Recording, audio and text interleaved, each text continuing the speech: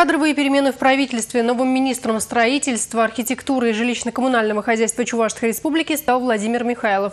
Накануне с ним встретился глава республики. Напомним, Владимир Михайлов – учредитель Чувашского регионального отделения Народного фронта и руководитель ряда строительных компаний. В ходе рабочей встречи Михаил Игнатьев поинтересовался, как развиваются эти предприятия в непростых экономических условиях. Своими кадрами дорожим, не просто дорожим, мы каждый год их обучаем. Угу. Каждый год, э, тратя на это большие финансовые средства, просто понимаем, что не обучая, человек останавливается в развитии и не может дальше двигаться. Мы уже на протяжении трех лет с Ивильским сельхозтехником уже работаем по, скажем так, подготовке, да? Подготовке, да, машинистов, буровых установок. Хорошие управленческие навыки станут большим подспорьем на новом поприще, считает глава Чувашии. Профессионалы своего дела всегда востребованы в правительстве.